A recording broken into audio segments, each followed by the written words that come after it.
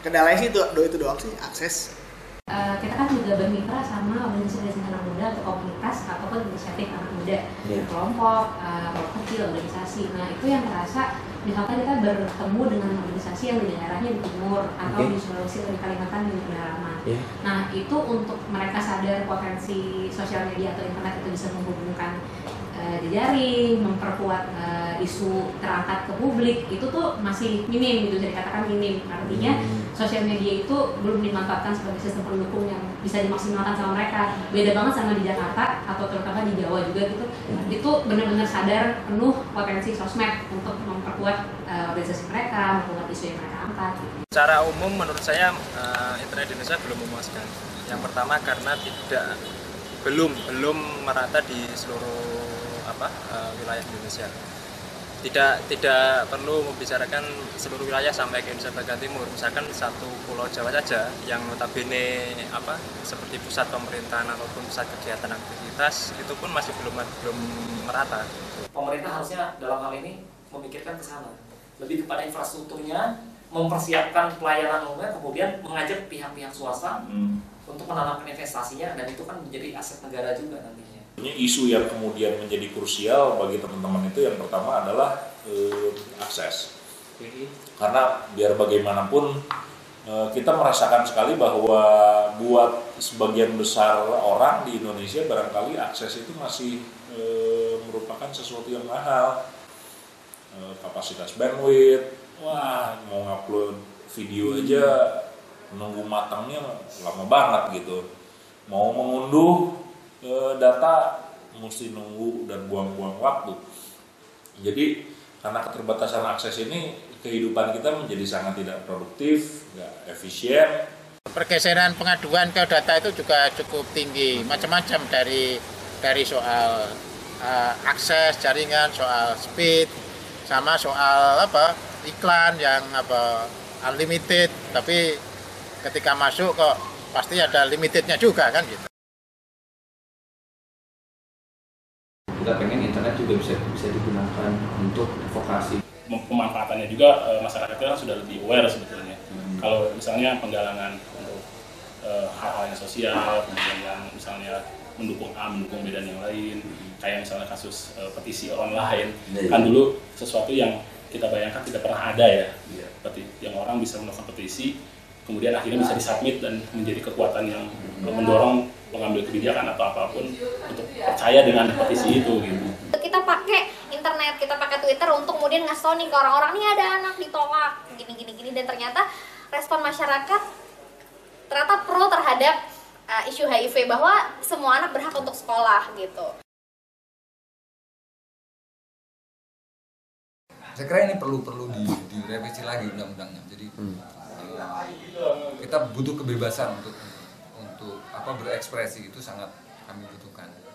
Ya cuman kalau ngelihat contoh-contoh kasus yang sebelum-sebelumnya gitu ya, jadi agak terbatasi aja kebebasan berpendapatnya di internet, ya. internet kan. Nah kesannya kan memang jadi pasal karet. Nah apalagi dalam konteks bernegara kita ini eh, cenderung penguasa itu gampang diarahkan, gampang dialihkan sehingga ruang kalau ingin kriminal atau memang ingin mempidanakan orang itu lebih masif ya lebih mudah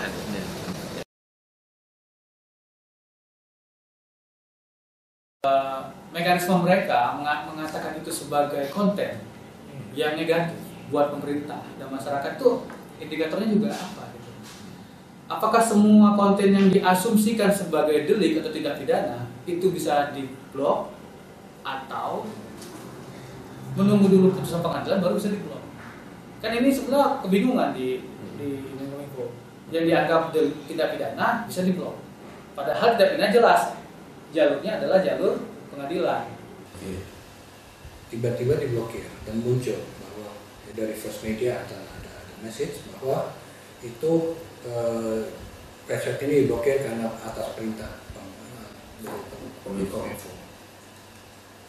Kalau mau komplain silahkan ke nomor ini aku udah coba komplain. Mereka bilang ya kita nggak bisa apa-apa ini juga instruksi. Hmm. titik.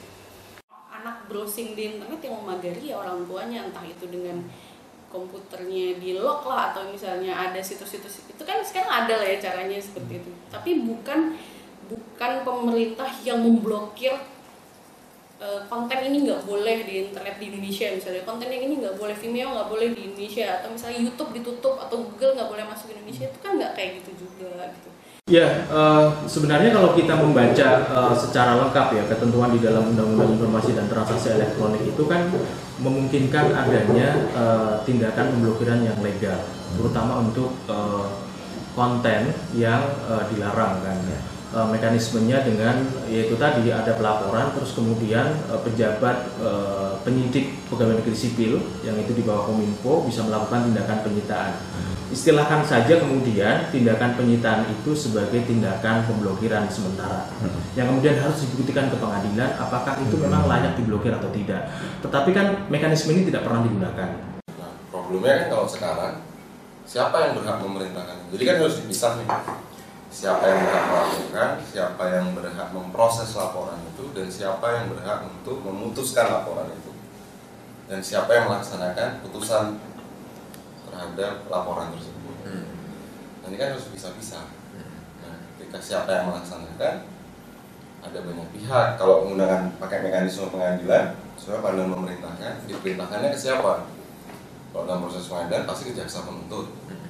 Jaksa penuntut atas dasar putusan tersebut atau penetapan tersebut, kemudian melakukan eksekusi. Hmm. Eksekusinya ke siapa? Kan itu harus diatur. Apakah ke Kominfo atau dia bisa langsung eksekusi ke mana? ISP ISP-nya nah, ketika itu udah jelas semua dan atas perintah pengadilan ya mau nggak mau harus taat itu aja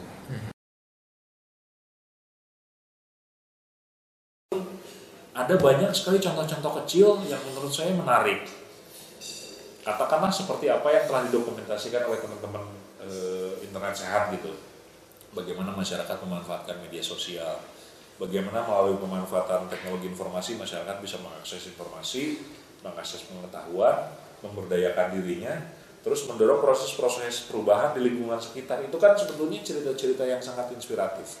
Dan menurut saya justru narasi-narasi yang seperti ini yang mestinya bisa terus dikembangkan di antara sekian banyak narasi dan cerita buruk tentang kenyataan. Gitu. Ya udah pemerintah buat regulasi cukup kasih uh, ya udah regulasi aja menjaga, menjaga udah gitu jangan diawasin kayak sapam gitu jangan biarin aja yang bikin undang-undang ITE Menkominfo ya